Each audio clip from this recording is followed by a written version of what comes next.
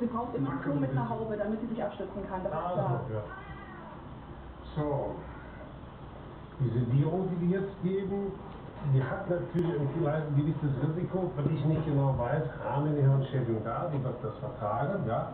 Wir nehmen aber die unterste Dosierung. In der Regel gehen die auch davon, das dauert ein bisschen länger mit dem Wachwerden. Guck mal hier.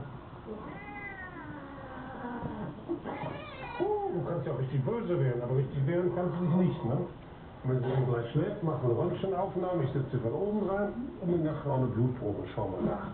Ob in der Blutprobe irgendwelche Antikörper von dieser Infektion der Mutter auch mit abspielen.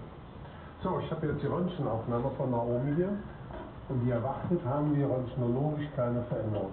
Wir sehen jetzt hier die Wirbelsäule, den Hirnschädel seitlich hier, Großhirn, Kleinhirn, dann sieht man hier die Wirbelsäule. Wir haben keinerlei